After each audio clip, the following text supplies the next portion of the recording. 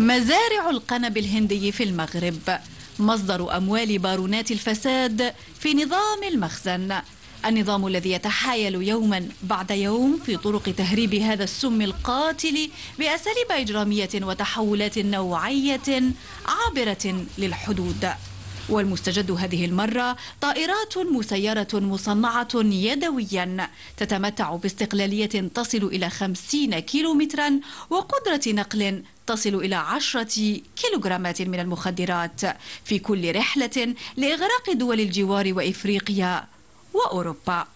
شبكات إجرامية دولية متخصصة في تهريب الحشيش والمخدرات الصلبة كشفت خيوطها خلال عمليات أمنية موسعة شاركت فيها وكالة إنفاذ القانون الأوروبية يوروبول والمصدر هو المغرب.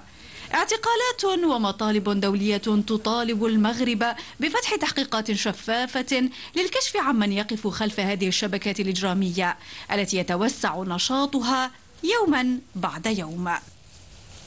لكن المحاكمة السورية في المغرب أفقدت العدالة مصداقيتها بالنظر إلى تدخل مسؤولين كبار في النظام لحماية بارونات المخدرات.